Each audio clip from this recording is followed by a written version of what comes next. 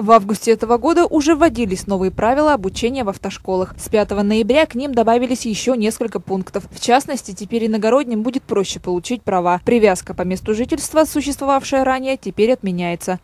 Для сдающих экзамены значит, появились изменения, такие как раньше, если человек э, каждые 7 дней мог пересдавать экзамен, то теперь на третью и последующей попытке человек э, должен будет выдержать 30-дневную паузу подготовки значит, к экзамену. И последующие попытки у него будут каждые 30 дней предоставляться. Подробнее со всеми изменениями, которые вступили в силу, вы можете ознакомиться в том числе на сайте э, ГИБДД МВД России. Как изменения отразятся на качестве вождения нового поколения автолюбителей, покажет время. Мы же решили поинтересоваться у бывалых водителей, что они думают по этому поводу.